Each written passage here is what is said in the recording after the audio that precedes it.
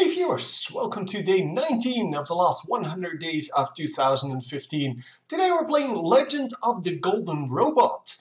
Legend of the Golden Robot is a reverse Minesweeper game with RPG elements and on top of that it has a couple of mini games in it. The main game consists of you searching for treasures which are hidden in a 5x5 array of squares.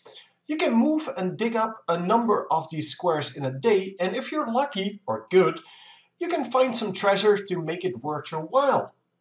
On top of the digging there are enemies that you will have to deal with.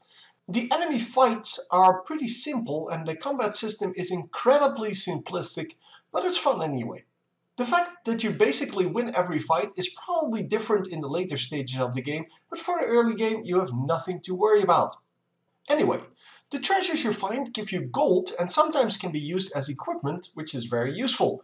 In addition to that, you can buy equipment in the shop and put additional stat points in the stats you find most useful. If you're tired of digging all day, you can relax a bit in the inn, where you can play two mini games to increase your money and experience. The dice game is pretty easy to win, but the shuffleboard game is really hard. Of course, it will be a lot easier if you play it a couple of times.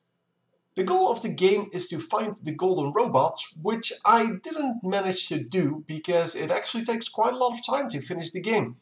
I only played it for an hour or so, but I would imagine the game gets a little boring if you play it for longer.